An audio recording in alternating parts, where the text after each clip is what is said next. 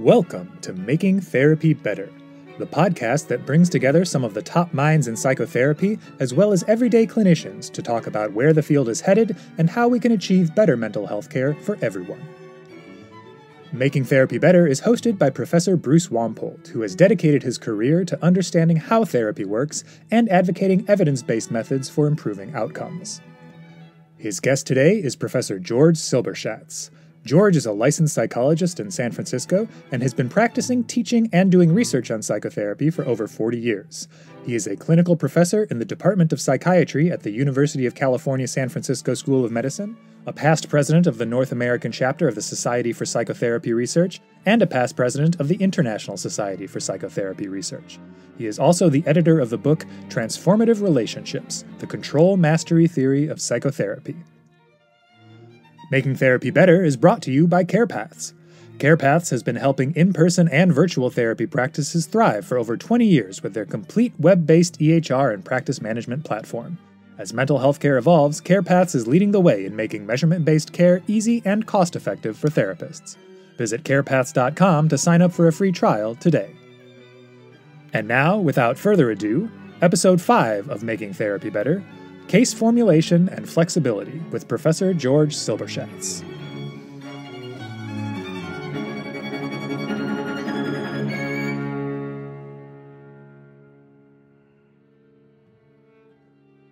So, George, this is great opportunity to have a conversation with you. We've had several over the years and want to get your perspective on the field, um, where we've been, uh, where we are, but most importantly, what's the future and what are the challenges for psychotherapy? So, you know, as I look at your career, George, you're one of those people who really has epitomized science and practice. You have a practice. Um, uh, you've published a number of articles. We're going to talk about uh, two of the areas, particularly during the interview, as well as teaching trainees. So you've seen it um, from various perspectives.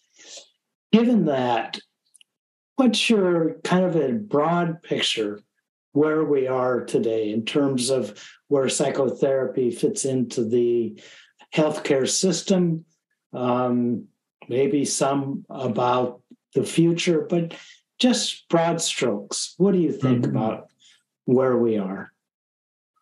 Well, thank you, Bruce. I, um, I think the first thing I would say is I think it's unfortunate that the kind of bifurcation between uh, practitioners and researchers, I mean that that gap, I suppose, has been there in one way or another for a long time, but I think it's widened a mm. lot right now, and I think that's unfortunate for both the science side of psychotherapy and the practice side of psychotherapy. And um, I mean, I, when I was in graduate school, you know, in the 1970s, I mean, a little bit of that was already happening. And I had one foot, I don't know how I came to that, but I had one foot in both worlds. I mean, I went, I was fortunate to go to an incredible graduate program at NYU. And even during my days, there were the people that were in the clinic, so to speak, and mm-hmm. the people that were at the Research Center for Mental Health. And I was lucky to be comfortable in both of those arenas. I loved psychotherapy, I loved what was happening in the clinic, but I was also very excited about what was going on uh, at the Research Center.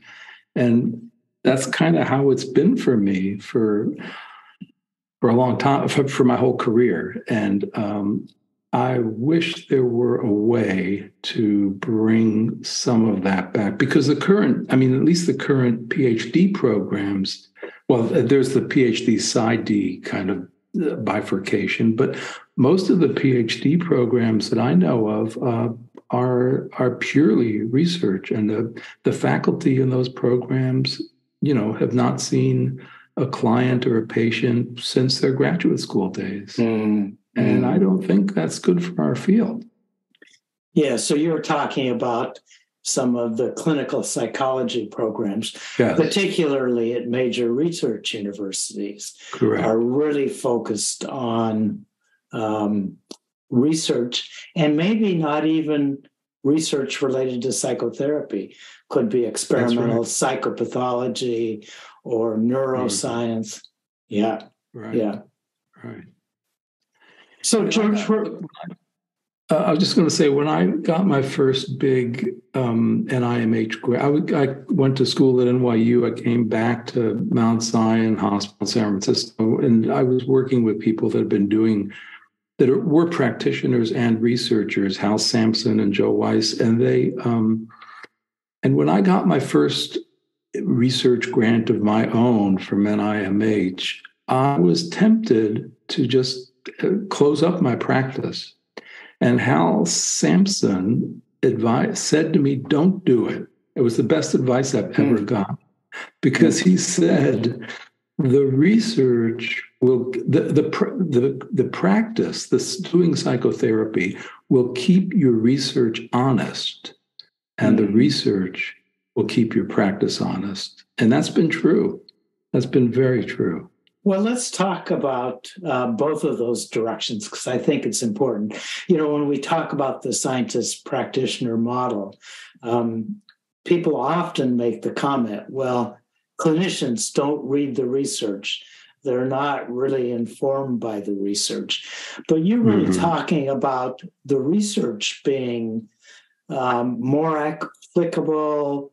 Um, maybe we could talk a little bit more about this that the research really isn't as relevant or as important as it should be because the people doing it are not do, are not doing clinical practice. yes i think that's right Yeah. and i mean this this won't surprise you bruce but you know i think part uh, i think part of the problem with the research and part of the reason that a lot of clinicians aren't reading much research is the the the, the track that we've taken for so long toward clinical trials and i think that most most of the research on clinical trials just doesn't affect people's practice it's just Mhm. divorced from the Mhm. reality of what people are dealing with but that that for me of course that's never been what research is all about i mean one can do research on very fundamental processes about psychotherapy and that kind of research is very very interesting to clinicians Mhm. Well, let, let's get to that point um, uh, in a few minutes because I think it's really important. I mean, the research you've done has been very much focused on the processes of psychotherapy and how that's related to outcome. But let's talk about this issue about clinical trials because in medicine, clinical trials uh, are at the very heart of um, the research world and have, um, I think, fairly profound implications for clinicians. Why is the, the same in psychotherapy? I think there are assumptions that, that have to be made in clinical trials that just don't apply well to what we deal with as psychotherapy. So Mm, in medicine, I mean, one I'm thinking of is the homogeneity assumption, right? That people, mm, if you're studying a particular treatment for whatever particular kind of cancer, you can assume, I mean, even in medicine, th- there are difficulties with that, but let's put that aside for the moment. And let's assume that if you've identified particular kinds of cancers, you have a relatively homogeneous group of patients and you can make, you can generalize from those. In psychotherapy, we have a much more complex uh, issue that we're dealing with. That when we, you know, we we talk about identifying a group of of depressed patients, for example, but th- those patients are not homogeneous. They are, I mean, they may share certain kinds of symptoms, but they come to that in very very different ways. And I think that's one of the fundamental problems with clinical trials in, in psychotherapy. And similarly, when you talk about homogeneity of the treatments, as you know better than, than most, um, though that's a, a, very, very flawed assumption about uh, treatments as well. Yeah, I mean, I like to think of it this way, and it's actually I got this from from Zac Imel a bit. But when a clinical trial shows that a particular medication is effective for a particular disease, the medication uh, administered by a clinician is pretty standardized and very close to what's done in the clinical trial. Yes. I mean, uh, 10 milligrams of drug X uh, is 10 milligrams of drug X. Yeah. In psychotherapy, that's not the case. Right. I mean, they even in clinical trials, if you were to watch the videotapes, which both of us have done, there's quite a variation among therapists within therapists with different patients. Yes. I mean, what is what is CBT is not some uh, formula, something you can get in a formulary. Yeah, yeah, yeah. and I think the I think the study, one of the studies that you've published and written about, is how therapist affects Trump treatment effects. Mm-hmm. That's a big yeah. problem for clinical trials. Yeah. You know, we don't want to say this too loud, but it's not uh, unheard of in medicine as well. Uh, yes, I mean that was know, true. Yes, in the yeah. NIMH collaborative study, yes, the, the psychiatrists giving the treatment had a bigger yeah. impact than the, than the drug.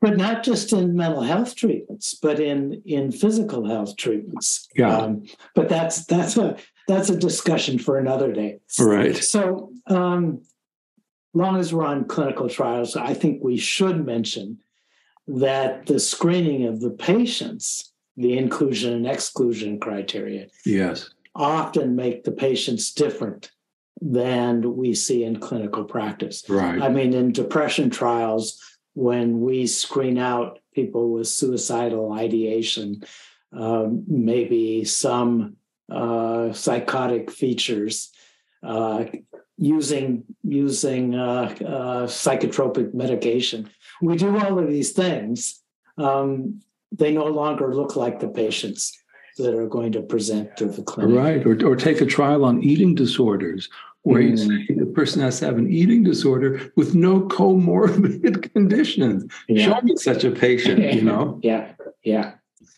So, George, let's take that as a starting point to talk about um, the research that is done in psychotherapy that you think is applicable to clinical practice and going to get into the process research but discuss what you think is is important research that has been done or that we should be doing that really will be important for clinicians mm-hmm. um, to understand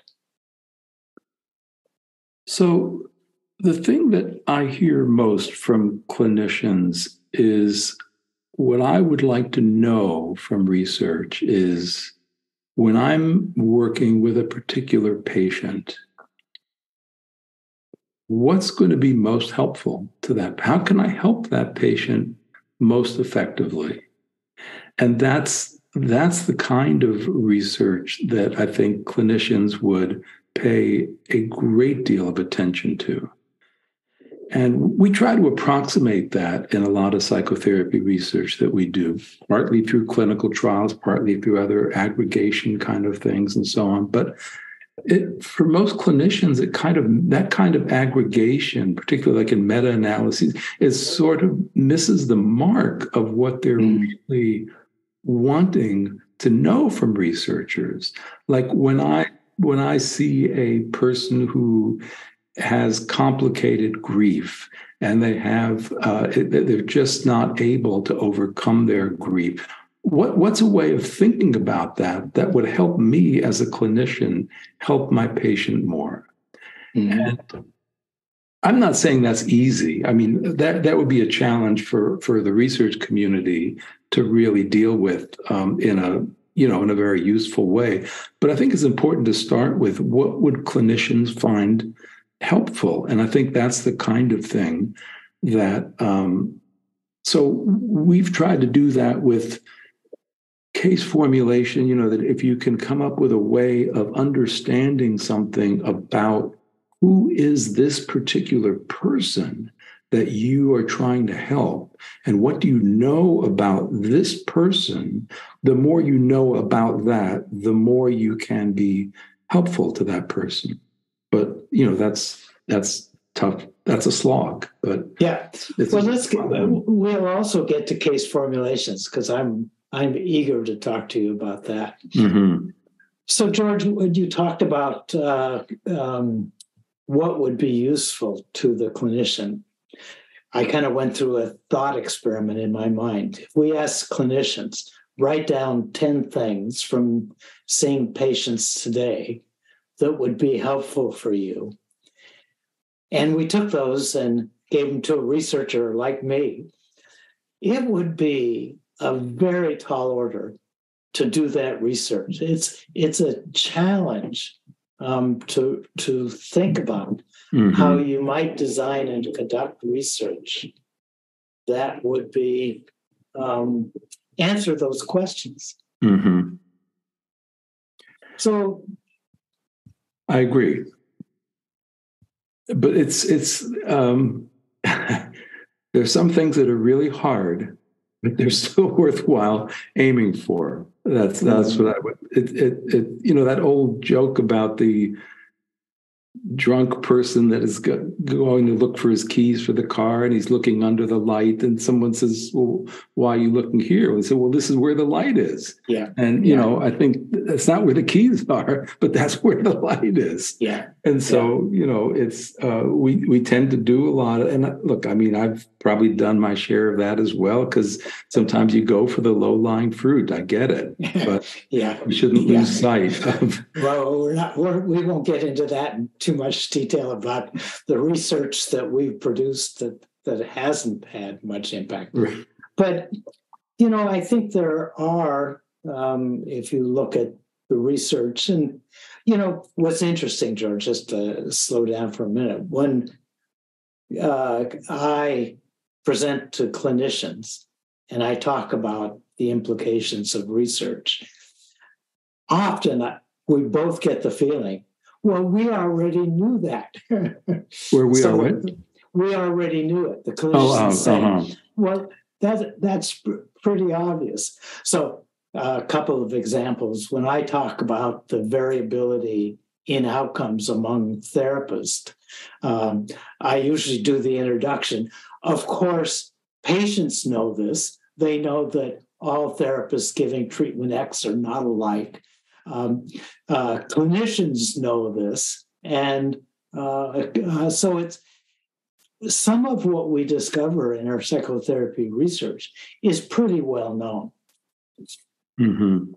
But sometimes not so much. Mm-hmm. So I think about the research on affect in psychotherapy and its importance, and particularly in the moment to moment interaction of attending to the affect and its importance, and not in just in psychodynamic or emotion focused therapy, but also in in cognitive and behavioral therapies. Mm-hmm. And I think that research is informative. Mm-hmm. Uh, Tim Anderson's work on facilitative interpersonal skills um, has, uh, I think, profound implications for practice. Yes, I I certainly agree with you about Anderson's work, and I think in, in a way that, that's the kind of thing that probably makes intuitive sense to clinicians that there are people that are just good at helping people talk or helping people to get it, you know, feel comfortable. And mm-hmm. if, to the extent that researchers can identify what are those facilitative skills, that would help in selecting therapists. It would help in mm-hmm. training therapists. Yeah. I think it would make for more effective psychotherapy. So I think mm-hmm. that is an area of research that has a lot has a lot going for it for sure. Mm-hmm. Yeah. So, George, this is raising the issue because we're talking about um, uh, really moment to moment uh, uh, aspects of the therapeutic endeavor that are important for outcomes. So, as we've discussed, you know, there there's many in the field who are focused on on treatments. Uh, uh, you know, which is the the most effective treatment for a particular disorder or for a particular type of patients with a particular disorder. And then there are those who are quite focused on on relationship variables.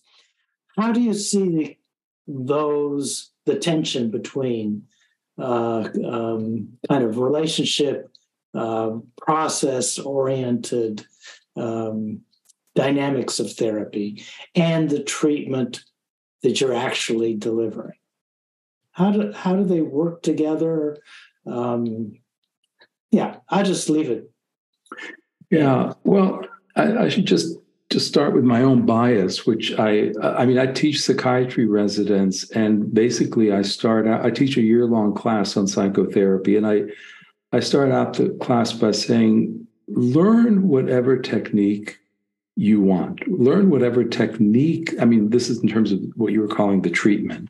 So learn a particular technique or two that is comfortable for you, whether it's psychodynamic or CBT or emotion or any number of different approaches.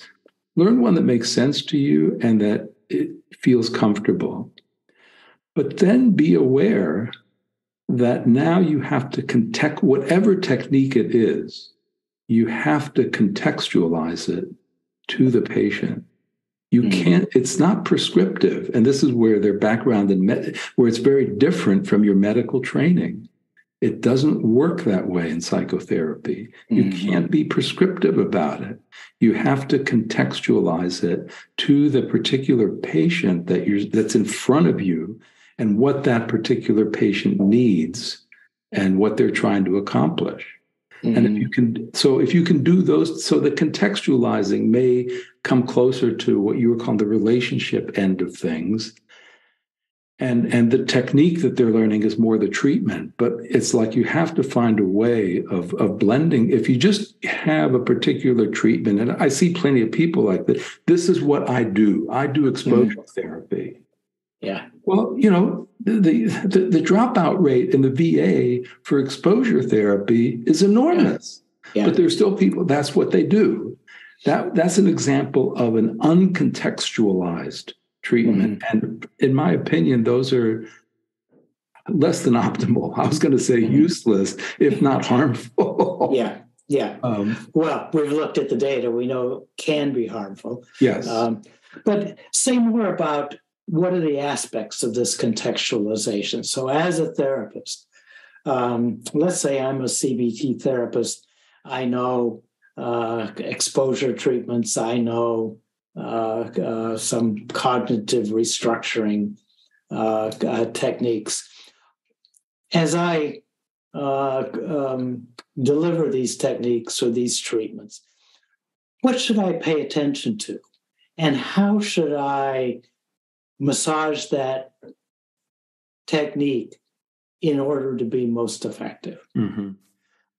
Let me take a simpler example first of uh, let's uh, let's take a CBT technique and the emphasis on homework. Okay, so let's say you have a patient who has been very driven and very compulsive, and they've always, you know, they're these overachievers. They've always mm-hmm. done not only the homework in the course of their schooling, they've done way more and have spent way more time doing it. So let's say that patient comes in and you assign some homework thing, and they come in and they've done it, they've done it diligently, but now after a few sessions, they're experimenting with something different they're experimenting with I, I, forgot to do i didn't do the homework this week mm. Mm. now with that patient okay instead of focusing on that as a problem mm. that should be seen as an achievement Yeah. And that's what that's what I mean by contextualizing. Mm. On the other hand, if you had a different patient who was always a slacker and who who came up in a family where nobody really cared whether they were doing their homework or not, and then that patient says something like, I, I didn't do my homework, well then you need to have a different conversation with that patient mm. about what so th- this is what i mean by contextualizing it mm to the particulars of the of the mm case. And i think that's what's not I, I, don't think our field pays enough attention to that in my opinion. Mm-hmm. So yeah, that's a great example george of, of contextualizing um, the act of not doing homework based on really the case formulation or yes, knowledge the, about about the patient right. as being important. Is this something we could do in a prescriptive way? I mean is it uh, we could talk about rules for um, contextualizing homework assignment compliance I, think not only could it could homework but i think everything about a technique could be I mean, that's what we should aim for. I'm not saying it's easy, could and should be contextualized. And so, one of the reasons we focus on our work a lot on case formulation is that that becomes a way, a, a, a basis for that kind of tweaking and mm. contextualizing to what the person needs. Now, there, there are other people in the field, not in psychotherapy, but there's a whole field that I learned about. I never even knew it existed called relationship science. Mm-hmm. And it's not clinical, it's just about mm-hmm. people relating. And there's a guy, Harry Reis, who's done a lot of research, a, a huge amount of research on this. And he talks about um, partner perceived responsiveness mm-hmm. versus actor intended responsiveness. Mm-hmm.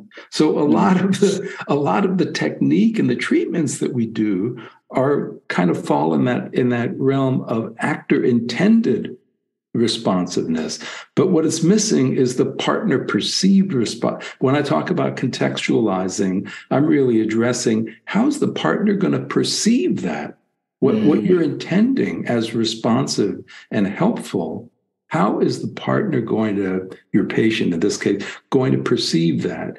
And in Reis's work, he's shown in so many different huge studies that it's partner perceived responsiveness is the only thing that matters. Right. Yeah. Yeah.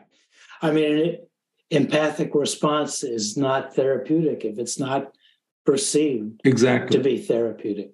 Exactly. But you but you're really saying to understand how to construct a response for a therapist, you have to have an intimate knowledge of the patient sitting across from you. Yes, or even even a rudimentary knowledge will go a long way. a knowledge beyond the diagnosis is what I'm yeah. saying, because the yeah. diagnosis is useless in my opinion, absolutely mm. useless. Mm. Mm-hmm. So, George, the case formulation has come up a couple times, and mm-hmm. I really wanted to to make sure we have enough time to discuss that because mm-hmm. you know much of your work has been around how to construct and more importantly use case formulations right. to improve psychotherapy. Mm-hmm. So what is the case formulation and what are the necessary components to make it actually uh, actionable and useful? Yeah. yeah. So uh, our, our, research group has thought about this for a, a, very, very long time and, and worked on it in all kinds of different ways. And when I think about it, I mean, this will sound may sound strange without explanation, but I now, I now talk about it as a personalized case mm-hmm. formulation because it turns out when you really dig into it that all case formulations are not personalized. There are plenty mm-hmm. of case formulations that come top down from theory. They're saying, mm. "Oh, this patient has a, you know, a patient who has a particular issue with going off to college, and they're focusing on that um, they don't kiss their mothers anymore goodbye, and the mother has a problem. So a, a top-down, oh well, this is the person's unresolved Oedipal issue with the mother. Mm. Well, that may have nothing to do with the. It's it's interesting at a broad level, but it may have nothing to do with what this young person's problem with going away to colleges. And so there are these there are these top down sort of gen, more generic case formulations. So I think I talk about personalized case formulations where you have to focus.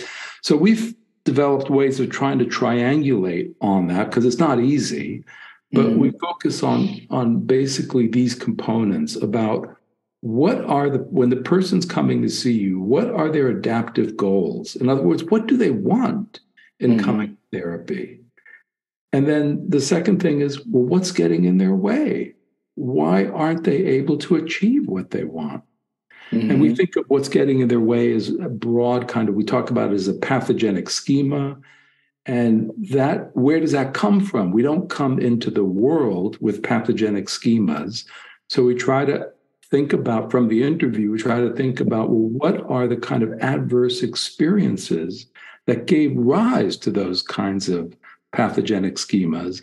And the last category is what kinds of experiences or how is the patient going to work to change those in the therapy. So that's just a heuristic tool for trying to hone in on a mm. on a you know what's important for this particular patient.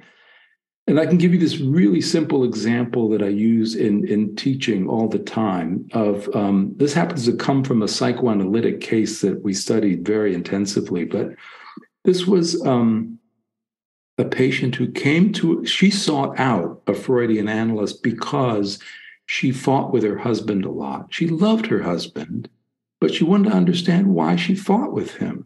And that's why she came for analysis. So that's what was on her agenda. She chose a Freudian analyst, and she knew that this analyst is interested in dreams. Okay. So we come to the fifth session of the, this is the fifth session that they've met. And she starts out like this I had an interesting dream last night. And then there's a pause. I also had a fight with my husband. Which would you like me to talk about? She says. Okay, now this is an interesting, this is an interesting moment. Now, I can tell you a few simple, this is this will show you what I mean by a very rudimentary formulation. What the patient had talked about in previous sessions was this that she grew up in a family with a very, very narcissistic father and a very passive mother how narcissistic, you know, the father would insist that the children wear the clothes that he liked and eat the foods that he liked. And if they didn't do that, he was sullen and quiet and withdrawn. So that's an adverse experience, right? It's a, we would call that a traumatic kind of experience, growing up in that kind of family. The person to, to, to, uh, to survive in that kind, to maintain a relationship with a parent, which is so important, you know, to preserve your attachment. You need your parents. Yeah. She develops a pathogenic, uh, what was at that time an adaptive schema, but it turns out to be pathogenic. The schema is to get along with someone, you have to subjugate yourself to their needs. Okay. So this is very rudimentary, but this is all material that you talked about in the previous sessions. Now, if you know just those things, about the patient. You know that she has this pathogenic schema. I need to subjugate myself in order to get along with you. And she says, "Which would you like me to talk about?" Mm-hmm. Right? Yeah. That's a she's she's setting that up. Yeah. And there is a helpful intervention in that. The, the, the, the, that rudimentary formulation gives you immediate guidance in terms of what would be helpful for this patient. Mm. I think you should talk about whatever is important to you. She would love that. Now, that's not going to cure her, of course, but that would be very, in terms of building relationship, that would be very helpful to her. But here's the hook, Bruce, that people could say, and they've said this to me in trainings I've done, well, that would be helpful for anybody. Talk about whatever you want. The truth is, it's not helpful to anybody. Because if you imagine a different patient who grew up in a family that where she got no guidance, where she needed things from her parents when she was very little, and the parents said things, we don't know what to do. Why don't you figure it out? Yeah. That patient, a patient who grew up in that kind of context, would hear a therapist saying, I think you should talk about whatever you want to talk about as further indication that this is another person who's not going to be able to help me with what I need, who can't give me what I need. Yeah. yeah. So that's what I mean by contextualizing. Yeah, a great example about how the case formulation is really important in guiding the therapist in that moment. Yes. About how to respond. Right. So it isn't just about well, what kinds of treatment should I apply or how should I structure treatment, but in a moment to moment interaction. Yes, yes. And from my point of view, it wouldn't matter what the, I mean, th- this could be a cognitive therapist. It wouldn't matter. Mm-hmm. It could be, a, it mm-hmm. could be an EFT therapist. Yeah. Uh, yeah. It would apply across therapies. There's two points about this I want to discuss about the case formulation. Um, uh, the second, which we'll discuss in a minute, is around is it a static thing that can be done before uh-huh. therapy starts, or how does it evolve over the course of therapy? Yeah. But before we get to that, I want to discuss this theoretical orientation because when you described what's in a case formulation, part of it reminded me of, of uh, CBT, this maladaptive core schema, mm-hmm. which is related to the to the core schema in CBT. Mm-hmm. But the experiences, well, sounded a little more psychodynamic, but you know, behavior therapists want a learning history as well. Mm-hmm. Talk about the the trans theoretical nature of the way you see case formulations. So what, what I say is that this I mean, there is some theory, obviously, that that shapes those categories, uh, and I'm very explicit about that. But what, what I say about it is that it begins with basic Darwinian biology. That we, all living things, are wired by evolution to adapt to their environment. It's like Darwin said: you either adapt or die. Those are the mm-hmm. choices. Yeah. So yeah. adaptation is a central piece that guides this. And that's and that's what I mean when I say that when in that in that example I gave you, when you grow up in a family with a very narcissistic parent, for example, it's very adaptive for you. You have to be mm. able to subjugate yourself in order to preserve the, the, the attachment is central. You know, survival depends mm. on Mm. And so you do what you have to do to preserve that attachment. And, and Bowlby, of course, talked about, I mean, he's the most well known person that talked about this in attachment theory.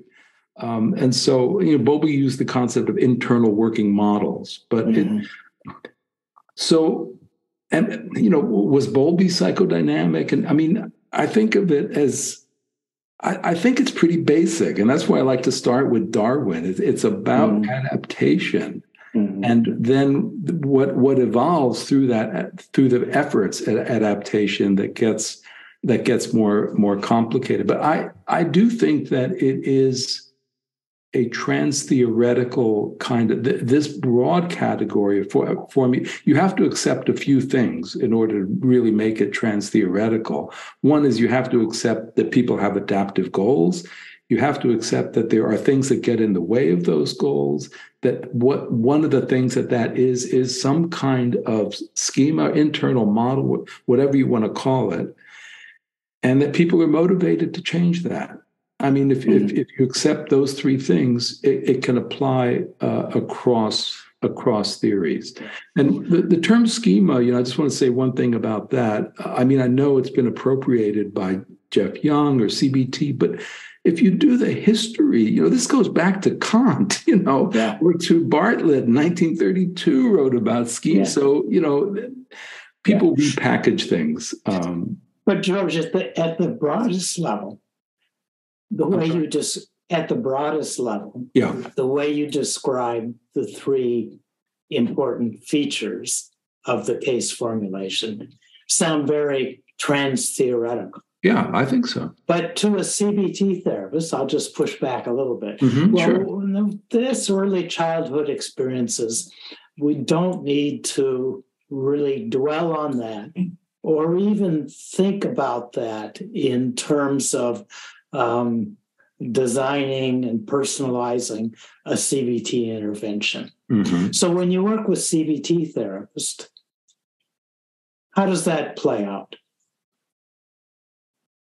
Some like it and and some don't. Some say we, don't, we we just work with what the uh, what the distorted beliefs are, and we don't need mm-hmm. to know where they come from. And mm-hmm. I guess my attitude about it is well. If, uh, how's that working out for you? yeah. I mean, if you know, if you look at, I, I mean, CBT does a wonderful job in uh, making claims that it is the most superior treatment uh, there is. But as we know from the research, that's not true. Mm. That most that, that, there's very little evidence. I mean, this is preaching to the choir, but there's very yeah. evidence for the superiority of one over the other. So, you know, um, I just think at a at a pragmatic level, it would help people get more better outcomes if they paid attention to those. Now, in saying that, though, I don't myself as a therapist, I don't necessarily harp on people's childhood things. I don't spend mm-hmm. all this time yeah. in therapy, but it, it, it informs me in terms of how how I understand. It helps me walk in the patient's shoes. That's the easiest way to put it. Mm-hmm. Mm-hmm. Yeah. Well, George, we know that there's a variation in outcomes among therapists of every orientation. Right. And so uh, I liked your comment. Well, how's that working for you? If if if if your outcomes are are commendable, um, maybe there there's no need to think about case formulations in a right. different way than you are. But there's always room for improvement, and we need to understand for all therapists what we could do to improve. And being inflexible or or not being sufficiently flexible is a better way to put it is one of the things that holds back therapists yes. from achieving better outcomes particularly with patients that don't fit into their model too well. Right. And we know dropout rates both in clinical trials and in practice are quite high yes. so most people who drop out of psychotherapy do it after the first session. Yeah. And that's yeah. a failure to engage. Um, yeah, I think so. In, in therapy. Yeah. Um, uh, uh, you said, you know, this understanding the patient is important for you. But often I find it's important for the patient to understand this. Mm-hmm. Just the, the the statement about, you know, your passive acceptance of uh, significant other was adaptive for you as a child. Mm-hmm. That that defense really helped for your survival. Yes. It's just no longer adaptive. Right. In all cases in your adult life. Right. That's freeing for many patients to hear that. Yeah, I agree with you, and I, I, often will tell people that when I'm able to to get it that way, you know, can put it that concisely, and and I think you're right. People feel very, um, they do feel very freed by that, and they feel understood because mm-hmm. then they're not pathologized. Like, oh wow, look at this weird thing that you've become. You know? Yeah. Oh, I, I think that's an important point because you know to be called submissive by your therapist uh, uh, just as an observation, is is a, a, harsh thing to hear. Yes, but but the understanding, use the word understanding. The the therapist is communicating. I understand this.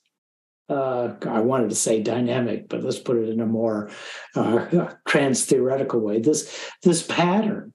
Yeah, I understand uh, how it came to be and how it may be adaptive in many circumstances in your own life, but in these critical aspects, for instance, the relationship with your husband, mm-hmm.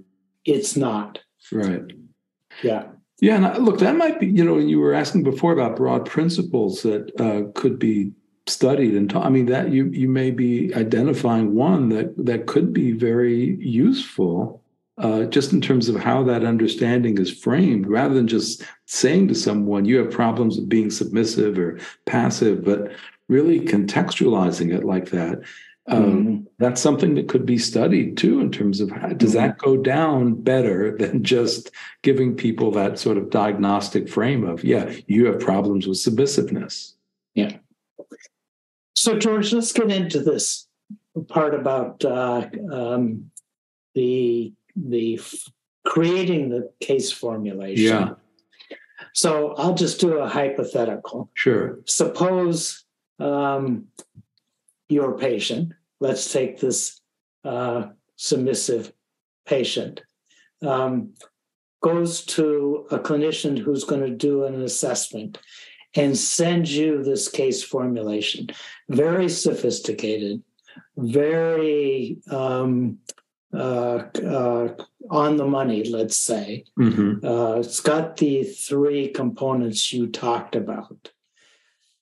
Would that be as helpful as as having done it yourself? So, could you get mm-hmm. a case formulation that would be um, sufficient mm-hmm. mm-hmm. to personalize the treatment in the way you've been talking about?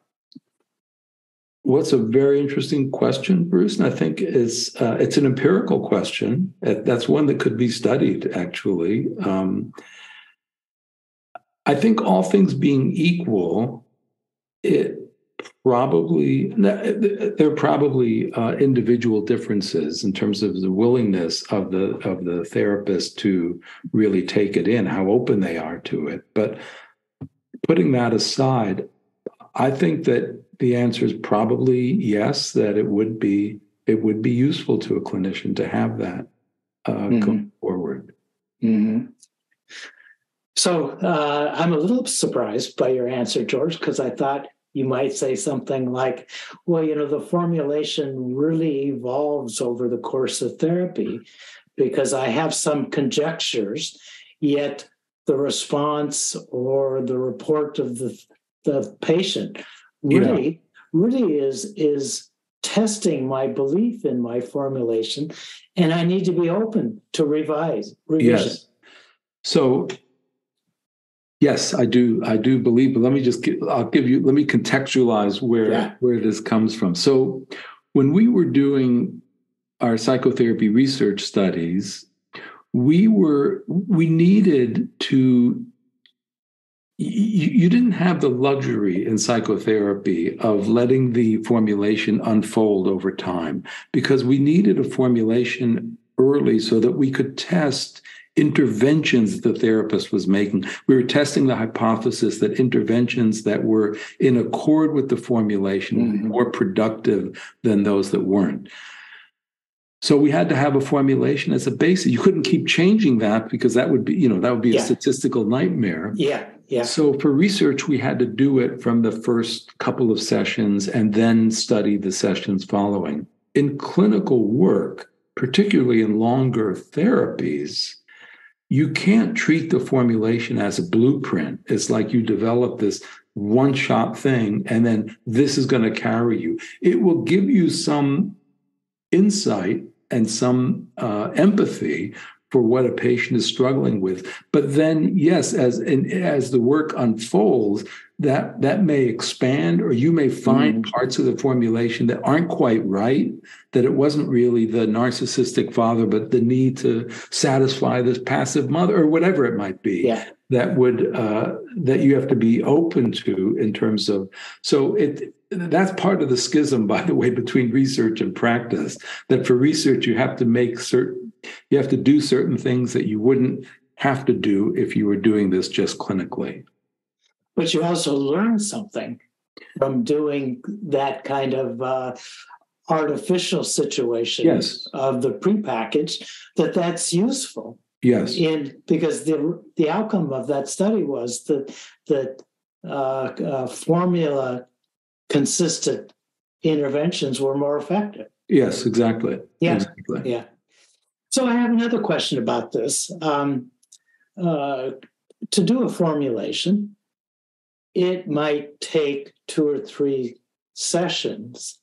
And during that time, um, you're really forsaking action in terms of assessment. And I've heard some people say that results in a lack of engagement. Uh, and that's why uh, um, patients drop out after the first or second session. Mm-hmm. That, oh, I got to tell this story again. The mm-hmm. therapist is sitting there taking notes. And I want to kind of uh, uh, contrast that with, um, you know, you know Leigh McCullough. Sure. And I often use one of her cases um, for illustrating various things. She confronts this particular patient within about one minute 30 seconds and they're they're working so she hasn't uh, completed a case formulation yes she's diving in in a very uh, uh, um, fundamental and and uh, deep way um, so talk about this kind of uh, um, assessment case formulation versus intervention in mm-hmm. the early stages. Mm-hmm. So, in our, we learned a few things in the course of doing this research because we recorded all these therapies and studied them very intensively and so on. And one of the things we learned is about doing an initial session with so the way our, our research project was set up was a, a, a, patient would come in and they would be seen by an independent clinical evaluator and that evaluator would do the intake interview. And that was pretty thorough and it was fairly structured. So we learned something about what you can do in a 45 or 50 minute session that can be very useful so one of the things, I mean, the, the interview would be broken up into, I mean, it wasn't rigid like this, but basically what the evaluator was aiming for is, so what's bringing the patient in now? What do they want mm-hmm. help with? Talk about that. Talk about what kinds of, how have they dealt with it? How has it been in the past and so on? Okay, I've got that. Now, tell me a little bit about you as a person. Tell me about your family, your life, mm-hmm. growing up, and your relationships. Tell me about your relationships with your parents, with siblings. And the person starts talking. So let's say they only talk about their relationship with father. Then the interviewer will say, okay, tell me something about your relationship with your mother. Then, you know, be siblings. Then it would be like uh, in school, mm-hmm. developmentally, what were your relationship with friends like, romantic relationships, current relationships. So it's a lot about relationships. Now, it turns out that, like, you probably know Lester's work on the core conflictual. Yeah. He had that thing of the RAP paradigm, the relationship anecdote paradigm.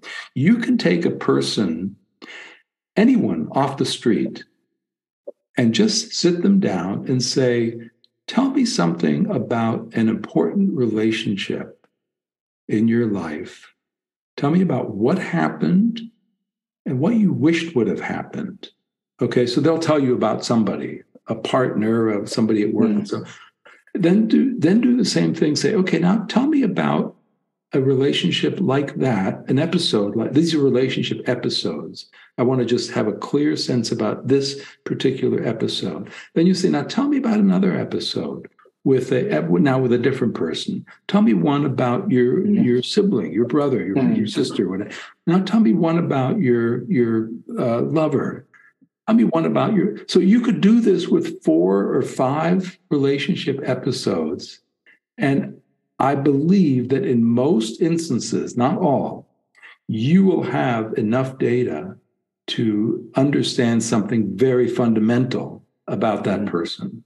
Mm-hmm. And so that's one reason why it is possible if you if you're if you're hunting, we didn't use the the RAP paradigm in our intakes, but if in your mind as an interviewer, if you're really going after different relationships, you will see threads across mm-hmm. those relationships.